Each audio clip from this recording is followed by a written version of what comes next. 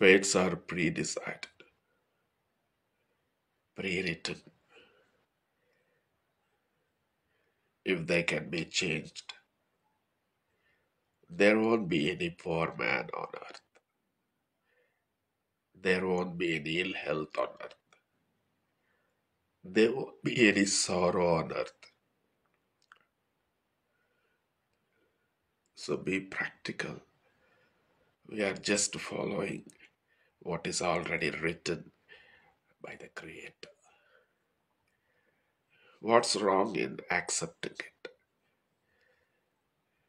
We don't even know the very next minute plan. Then, how anyone can decide and change one's fate?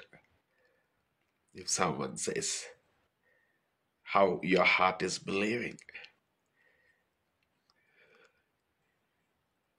it can't be.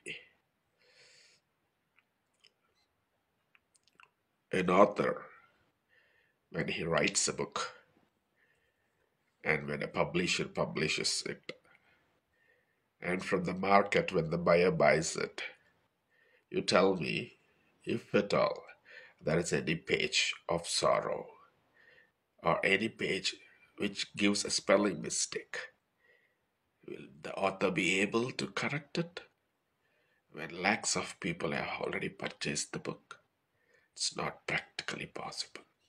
The same way, the fates are written and we are beautifully sent on this amazing planet, Earth, where all heavenly people, the Devatas, Gandharvas, even the lower level planets, Nagakanyas, Nagalokas, Nagadevatas, they aspire to visit Bhuloka, the earth which we are already enjoying.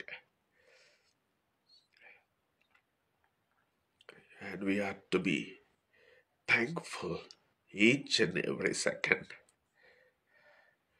for giving the eyes to see the Creator, at least in the statue form.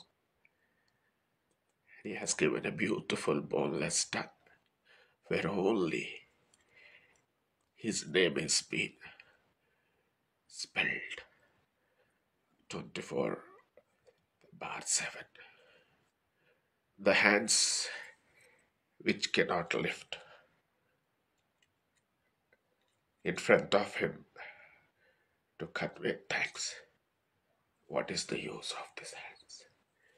The legs which cannot walk towards his the dwelling place, the temples, the prayer halls. What is the use of such legs?